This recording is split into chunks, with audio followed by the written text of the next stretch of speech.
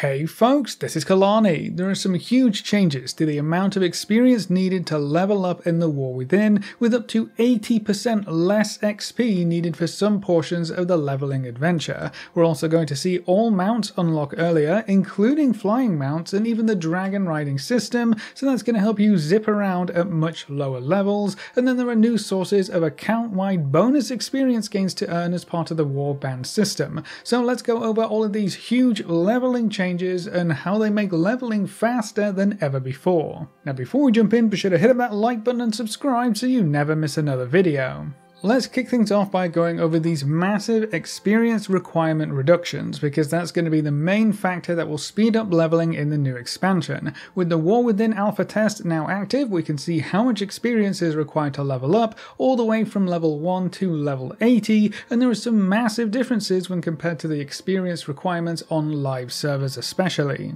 Wowhead posted this handy dandy chart, and if you're unsure how to read this, the 0% line is the experience requirements for live servers. So anytime the blue line goes above 0%, that is an increase in experience needed to get those levels, and then anytime the line goes below, like we can see it does for the vast majority of the leveling process, that indicates less experience required to level.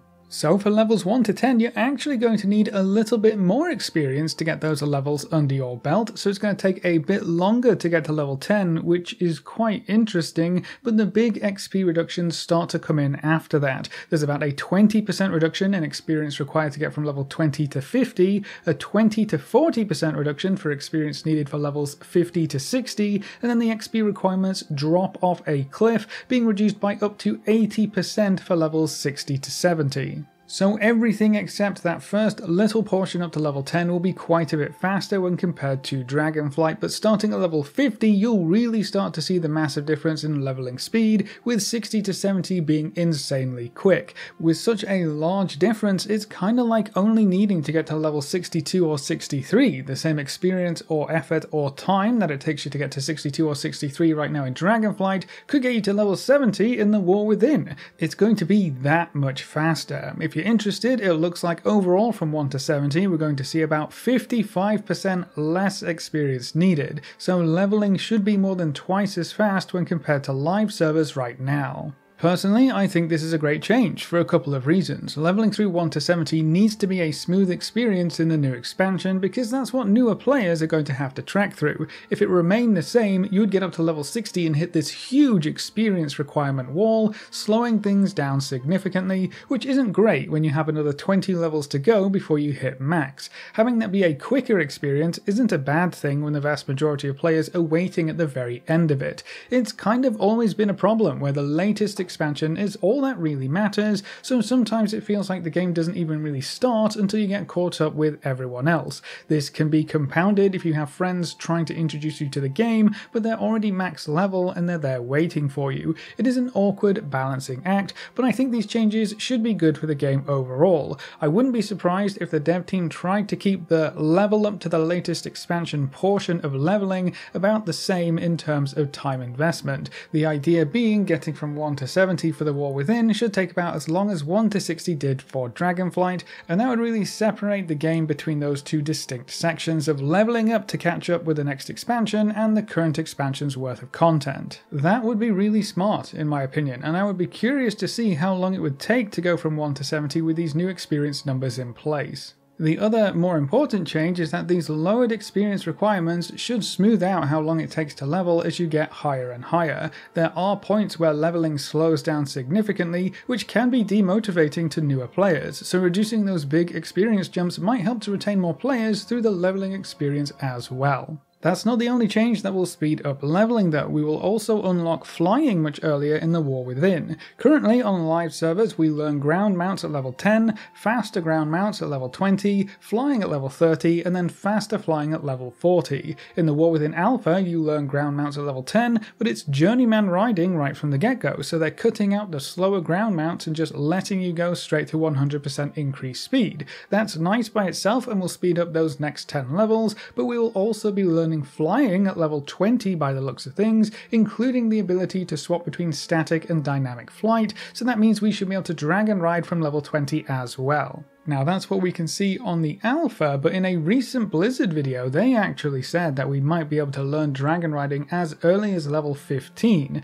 so that might not have made it into the alpha just yet, but being able to not only fly but dragon ride from level 15 is going to be absolutely insane. They also noted that newer players will be able to progress through and unlock dragon riding talents as they level up, so they might not be tied to collecting dragon glyphs at all anymore, so that's another interesting talent system to unlock more fun and power in as you level up. It does kind of make sense though. From what I understand, the plan for the War Within leveling experience was to make the Dragon Isles and Dragonflight leveling progression to be the baseline default option outside of Chromie time. That's also great for new players because Dragonflight is a much better leveling experience when compared to Battle for Azeroth, in my opinion, and you don't really need any backstory to jump straight into the Dragon Isles story. Trying to level through the Dragon Isles without dragon riding just wouldn't work, so they'll have to give you access to that quite early on. Level Level 15 is still kinda bonkers though, but I guess if you're starting Dragon Isles at level 10, it sounds about right. This is going to be the soonest we have ever had access to flying, and with it being dynamic flight or dragon riding, that's going to make getting around much faster, but also a lot more fun for anyone who hasn't experienced that system yet. Jumping in and playing World of Warcraft for the first time is going to be very different after the War Within goes live, that's for sure. As a fun little side note, Evokers will be starting at level 10 alongside pretty much everyone else in the War Within, and they gain access to flying as soon as they learn their Soar ability, so that will be even earlier than everyone else. Dracthyr will also be able to swap between dynamic and static flight with their soar ability, so you can use both flying styles with your own wings. It's about time. And on top of all of that, we have confirmation that Dracthyr will actually be able to play other races sometime after the War Within launches. So you'll be able to play more than just an evoker. You'll be able to be a Dracthyr warrior, hunter, maybe a mage or priest. We don't have any solid details just yet, but we do know more classes are coming for the Dracthyr race, and they will be able to stay in their visage form in combat, so you don't have to run around as a Dracthyr dragon if you really don't want to. So lots of changes coming for the Dracthyr and their leveling experience and then we'll be able to speed up leveling even further by getting to max level on multiple characters.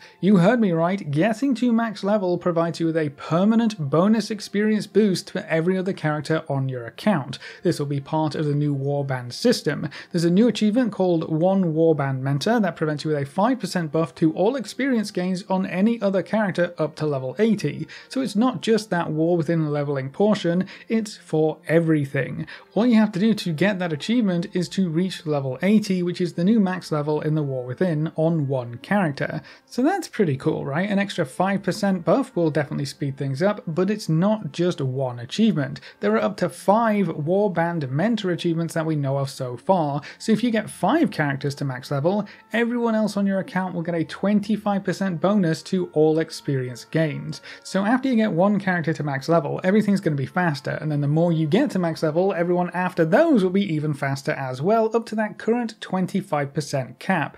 That is a really interesting change and honestly should have been in the game already. I feel like this is what heirlooms should have been, but I'm glad we're finally seeing this kind of buff coming in the War Within, and it's definitely going to make me more likely to level more of my characters early on.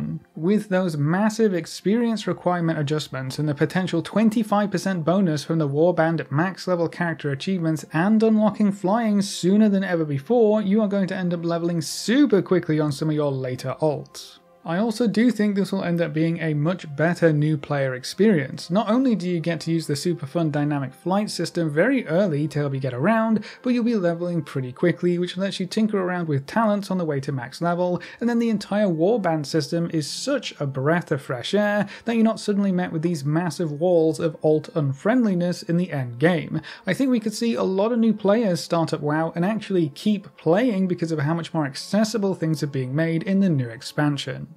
But that's how leveling is going to be so much faster in the War Within, so that's it for this video. What do you think of the massive experience reduction to get up to level 70? Is leveling fast to get to the latest expansion a good thing, or can leveling too fast actually be a bad thing? Leave all your thoughts in the comments section below. A big thank you to all of our supporters over on Patreon and to all of our members here on YouTube. You can see the names floating by on screen. If you'd like to add your name to the end of every video with a special shout out at the start of the next video, you can find links in the description of our Patreon or click the join button just below this video. If you want to see more videos like this, make sure to subscribe and ring that notification bell so you never miss another video. Thanks for watching folks, good luck and have fun, and as always I will see you next time.